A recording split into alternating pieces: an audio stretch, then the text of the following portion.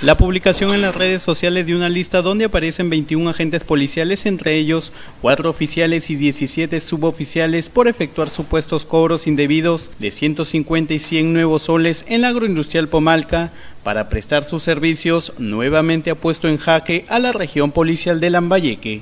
Yo desconozco, ¿verdad? Ni siquiera he visto esa relación porque no he visto el periódico, no, he visto relación, no sé. tendría que mirar primero eso que ha salido, que dicen que ha salido, que yo no lo he visto. ¿No?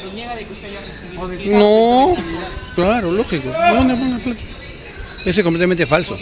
Uno de los involucrados y quien salió al frente fue el coronel Enrique Díaz Angelat, quien reconoció haber realizado visitas en las agroindustriales Pomalqui Tumán, como demanda la ley, sin embargo descartó que haya efectuado algún tipo de cobro. Los conozco, ni los conozco. Yo he ido solamente allá cuando ha habido problemas. Nada más. como parte del trabajo que hace la policía. Como jefe de la división.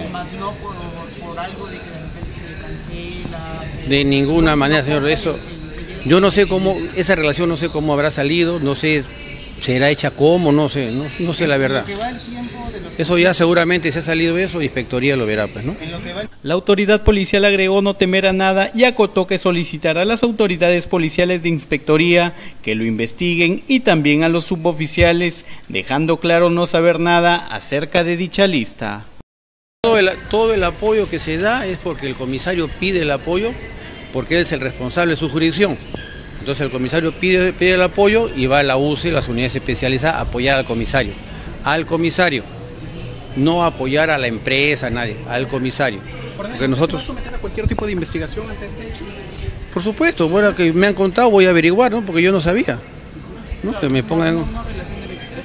Sí, pues, a ver, voy a mirar, porque eso, si en todo caso, que mi inspectoría lo vea y se hará las investigaciones, ¿no? Completamente. Nunca. Como le digo, yo no conozco a nadie de la empresa, yo he ido allá a Tumán, como voy a Pomalca, como voy a Pucalá, cuando hay problemas y tiene, que estar mi presencia ahí. Mas no he recibido dinero de nadie. Sentenció que denunciará a los responsables penalmente de tratarse de una equivocación, dicha acusación en su contra.